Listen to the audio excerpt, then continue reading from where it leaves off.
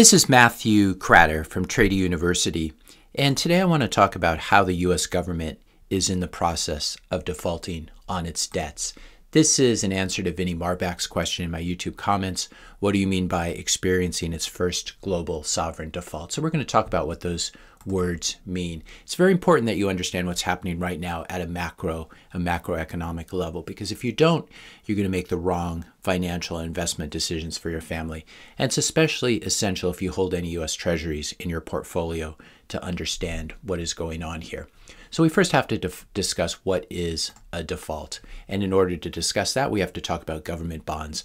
Government bond is just when you lend money to your government or another government in exchange for quarterly or semi-annual interest payments, and then repayment of your principal, your initial investment at maturity. The most common and most liquid U.S. Uh, government bonds that exist today are what are called U.S. Treasuries. They're issued by the U.S. Treasury for that reason, and they're just U.S. government federal bonds. And these have been really since the U.S. went off the gold, the gold standard in 1971.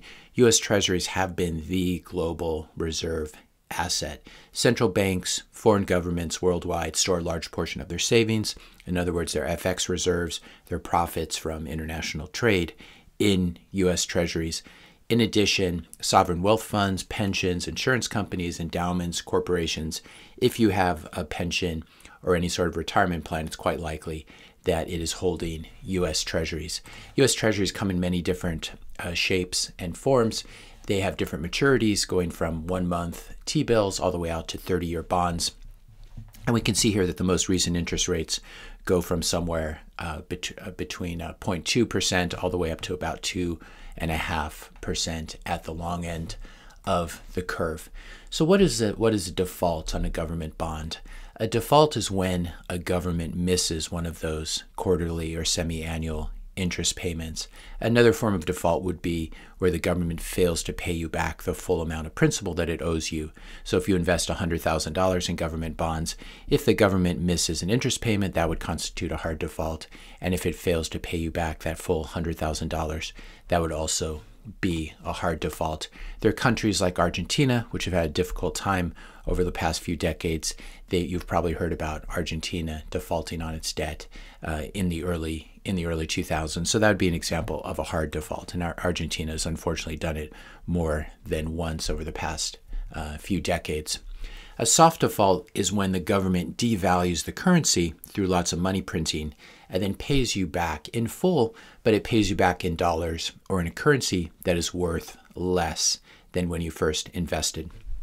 So if you loaned the government $100,000 in a hard default, you might only get back $50,000 if you're lucky. So that would be a failure to repay principal. In a soft default, you will definitely get back the entire $100,000. But what will happen is in the meantime, the cost of fuel, food, houses, medicine, everything else you need will have gone up so much that your $100,000 will have lost purchasing power. And that's what a soft default looks like. It's usually the route that governments try to take if they can because a lot of people don't really realize what is happening. And so we're going to talk about what's happening in the US right now. But I'd first like to ask you if you're enjoying this video and finding it helpful, be sure to hit that subscribe and like button, maybe even share this video with a few friends or colleagues. A lot of people have been asking me, will Russia default on its debt, which would mean will it miss an interest payment and or fail to pay back principal. And ironically, the answer to this depends on what the US and the EU decide to do. So the problem is Russia cannot pay back, it cannot pay its euro and US dollar denominated debt. This is again U.S. Russian government debt that it issued, issued in various currencies. It, the R Russian government has borrowed in U.S. dollars, it has borrowed in euros, and it's borrowed in rubles. But that euro and U.S. dollar pieces cannot be paid back unless the U.S. and EU unfreeze some of Russia's euro and US dollar reserves, which have been frozen in the banks that they're being held at in Europe and the US. Russia obviously cannot print out print new US dollars or print euros to pay off its debts. And so Russia has said that if the EU and the US do not unfreeze its FX assets, its FX reserves, its foreign currency reserves, Russia will be forced to pay off its euro and US dollar denominated debt with with rubles, which no one wants because they're rapidly being devalued and which it can freely print. So this would definitely constitute a hard default under the terms of most of the, the bonds. You can't borrow money in US dollars and then pay it back in a different currency. That's just not how it works. Fortunately, for the rest of the world at least, Russia only has about $40 billion worth of non ruble debt as of the end of last year. So, not a huge amount of debt. And it looks like as of yesterday, Russia uh, just made a payment on its debt. It sent over 117 million dollars in U.S. in U.S. dollars in the form of interest payments, and the U.S. Treasury said that it is going to let this payment go through. So so far, it has not defaulted, but it has something like I believe a two billion dollar payment due at the end of April. So we'll see what happens with that. Whether the US and the EU give it access to its reserves to make that next payment of interest and or principal. Now, Russian hard default, as I said, is probably not a big deal unless you're a holder of one of those those bonds, and forty billion dollars worth of bonds in the scheme of things is not a huge amount of money in terms of global finance. But by contrast, if the U.S. were to do a hard default, this would certainly blow up the global economy instantly. And the reason for that is this the US government's liabilities, in other words, the money it's borrowed, US treasuries, its government bonds, are always somebody else's assets. So the government borrows money, and this form of borrowing takes the form of a bond which someone holds on their balance sheet or in their account as an asset. And you or I could could own US treasuries if we wanted to, and a lot of us uh, do own treasuries, uh, usually without even knowing it through a retirement plan. Now, there are about $30 trillion worth of U.S. Treasuries outstanding. And so a hard default would have a much more severe effect if the U.S. does it versus Russia doing it on just $40 billion worth of bonds. These are many orders of magnitude different. If you have a $100,000 retirement account that is 60% stocks and 40% U.S. Treasuries, and the U.S. government does a hard default, you might end up with a retirement account that now has that $60,000 worth of stocks, 60%, and only $20,000 worth of U.S. Treasuries post default. This is assuming that the U.S. Treasury hard defaults and you only get half of your money back. So instead of having $40,000, you have $20,000 worth of Treasuries. This would mean that your entire account value, your entire retirement egg, just plummeted from $80,000, just plummeted, I'm sorry, from $100,000 to $80,000. And then it's probably going to be even much lower since if the US were, were to do a hard default, it would cause a massive crash uh, in, in the US stock market. And so that piece of the portfolio would fall as well. And so this is why a US hard default would be so serious because the US has the, the global reserve currency still, and US treasuries and US dollars are used as global reserve assets. You'd have absolute global chaos as assets got, mark, got marked down, and this would trigger more margin calls and liquidations, etc.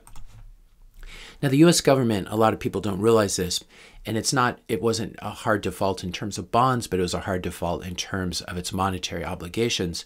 The US government actually did default on August 15th in 1971 when it broke its promise to allow anyone to redeem their US dollars for actual physical gold. This is when Nixon, quote unquote, closed the gold window. So this was a very large promise that was broken. The US was forced to do this because it had basically printed too many dollars and there was not enough gold backing those US dollars that had been issued. And so if every holder of US dollars in 1971 had asked for their physical gold in exchange for the US dollars that they held, there would not have been enough gold to go around. And actually, France sent a warship to New York in early August 1971 to try to load it up with gold and bring it back to France. And this is one reason Nixon was forced to do this monetary default and say we're no longer taking those green, uh, we're no longer exchanging green pieces of paper, US dollars, for, uh, for physical gold. And this is when the US left the gold standard. This was really the birth of the modern fiat era. Now, this, this default happened when the US had a very low debt to GDP level. It's just 35%. Today, that debt to GDP level is much, much higher. It's in the, about 123%. The global economy, the US economy are much more financialized and much more levered than they were in 1971. In other words, there's more debt and leverage in the system. And for this reason, a hard default is unthinkable today. by the US. It's also impossible to raise interest rates like Paul Volcker did in the late 70s, early 80s, because the economy is so levered. This would blow up a, a huge number of, of highly leveraged companies, as well as make the debt servicing costs of the US government astronomical. So the US cannot do a hard default and it cannot raise interest rates a lot. So the only way out really is what's called a soft default, which we, we just spoke about. This is where you pay off US government bonds, you pay off US debts using devalued dollars. Now, how do you devalue the dollar? Basically, you just print a lot of new dollars and you cause inflation. And more inflation increases nominal GDP, which is the productive output of the whole economy in terms of goods and services. And when nominal GDP goes up, means your whole whole economy is bigger and is more able to service that level of debt. And as a result, it brings down these debt to GDP levels. The other thing about higher nominal GDP, it means higher tax receipts, which can be used then to service debt. Everyone gets wage increases, the stock market goes up, and this increases tax receipts, which can then be used to service all of that old debt. Right now, the U.S. is running uh, deficits of between two and three trillion, which needs to be monetized by by issuing by issuing more debt. We only bring in four trillion dollars worth of tax revenues, and we're spending close to seven trillion in terms of um, uh, government government spending. And so this is the the difference that needs to be made up. We can see here the difference between debt to GDP back in 1971 when the US first defaulted. It was about 34, 35%, and now we're much, much higher. We're really at the end of this particular system because of how high the debt levels are. So, ironically, in spite of what you hear the Fed say, the Fed actually does want inflation for this reason because it wants to do a soft default and and and sort of normalize our debt to GDP levels in this way. It wants to inflate us out of our debt, but without spooking bondholders. And so that's why it has to go through this whole this whole ruse of saying we're very concerned about inflation, we're raising interest rates, etc. There's a very fine line that they're walking here. They want to inflate us out of our debt, but they also don't want interest rates to spike too much, in which case the Fed would have to step in and do what's called yield curve control and try to control and keep those interest rates lower. Higher GDP due to inflation, as we said, would, would create higher tax receipts. And so this is another reason the Fed actually wants inflation. Once the Fed brings debt to GDP levels uh, much lower, back to uh, call it 50, 60, 70%, then it would actually be able to raise interest rates and normalize monetary policy without blowing up the economy. So the Fed ultimately does want inflation. Who doesn't want inflation? I would say any politician going into the midterm elections. It's bad for the current administration. It makes them look really bad. Uh, if you're a holder of U.S. Treasuries, basically, if you're on any sort of fixed income payments, uh, if you're retired and you have fixed income payments, uh, inflation is very bad for you because there's no real cost of living uh, adjustment quite often, or the cost of living adjustment is not enough to make up for the inflation.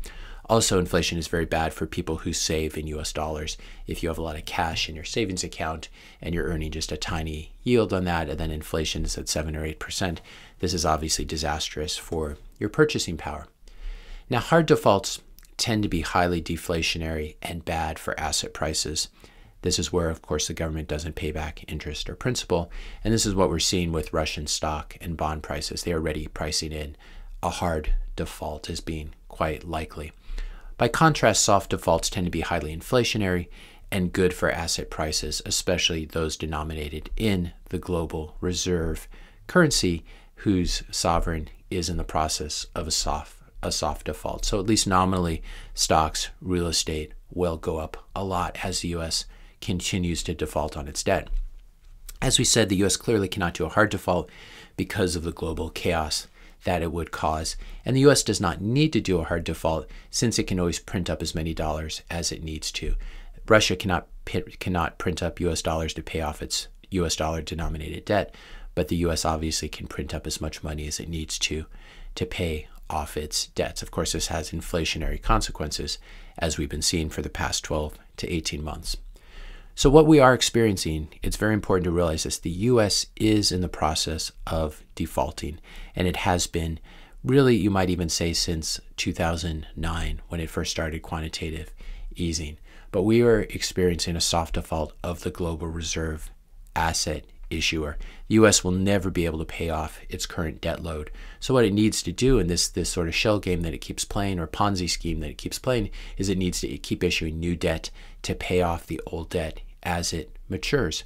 Most of this new debt will need to be bought by the Federal Reserve with newly printed US with newly printed dollars, which is highly inflationary. Foreign buyers of US treasuries have been largely absent for the past 7 or 8 years and we're going to see another reason why they're increasingly absent. A ton of new debt, new US debt, uh, US treasuries will need to be issued also to pay for all of the Medicare and Social Security benefits as the boomers continue to retire. We're currently seeing U.S. unfunded liabilities. Uh, so social so, social security is about 22 trillion medicare is at 33 34 trillion and the total at least according to us debt clock total us unfunded liabilities is something like 168 trillion which sounds a little high to me i'd, I'd put this closer to 100 trillion but we have a situation here where we have these unfunded liabilities that may ultimately need to be monetized by the Fed. So what you could see, the Fed's balance sheet is currently uh, close to 9 trillion. You could see the Fed's balance sheet go to 100 trillion, basically go up 10x from where it is right here as the Fed is needed is is required to print money and buy US Treasuries in order to pay for all of this future spending that needs to be done, especially retirement spending for the older generations. And so this, this is how serious this situation is. This is why a lot of countries, very smart countries like China, have stopped buying our debt because they realize how much money is going to need to be printed in the coming decade or so. What we're seeing right now is the first global sovereign debt default that we've experienced since 1971 when the US closed the gold window. But but today the world is much more interconnected than it was in 1971. Global communication thanks to the internet is instantaneous and so it's much harder to hide these things. When the US defaulted in 1971, it caused various crises, it caused a decade of inflation, but it could have been it could have been much worse than it was. Today, a default, even a soft default by the US, calls into question the entire global financial system because this entire system is built using US treasuries as the bricks uh, that build the wall, which is the global financial system. And so, this is what I mean by uh, the fact that we're experiencing the first global sovereign default in modern history. But it gets even worse because the US, as we've been talking about, has just declared that FX reserves held in US dollars are no longer safe or sacrosanct. The US just canceled Russia's FX reserves, as we saw, and basically said said that if you're holding this in banks outside of Russia, we can turn it off, we can freeze it, and we won't even possibly let you use it to make good on your sovereign debt payments that are denominated in euros and in US dollars. And this is not lost on Putin. We just had an announcement from uh, the Russian embassy, Putin saying, uh, the Russian embassy in the UK, Putin saying that illegitimate freezing of some of the currency reserves of the Bank of Russia marks the end of reliability of so called first class assets. He's talking about U.S. Treasuries here, and to a lesser extent, EU um, government uh, government bonds. And he's basically calling this a default, which which in many ways it really is if you're going to turn off someone's FX reserves. Now everybody knows that financial reserves can simply be stolen. So this is really I can't emphasize this enough what a watershed moment we're experiencing uh, in the last week or so. This is the end of the US dollar and the US Treasuries as the global reserve asset. We've been trending in this direction, but now it is finally happening and history is accelerating. If you're a central bank holding a lot of treasuries, you were just given notice that your rights will not be respected and that your FX reserves, especially if they're held in treasuries, can be confiscated or frozen at any time.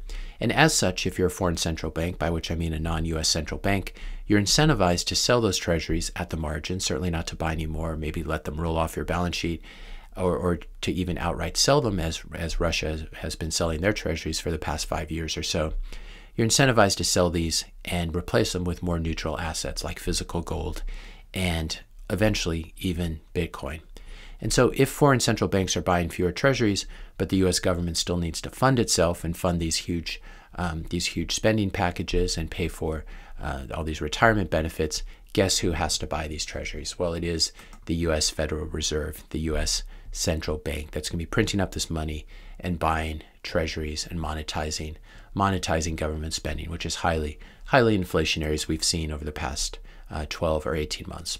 So conclusions: how to invest in U.S. soft default, which is in the process of happening. You definitely want to avoid U.S. Treasuries. You want to avoid bonds. You want to avoid holding cash. And again, this is not this is not investment advice.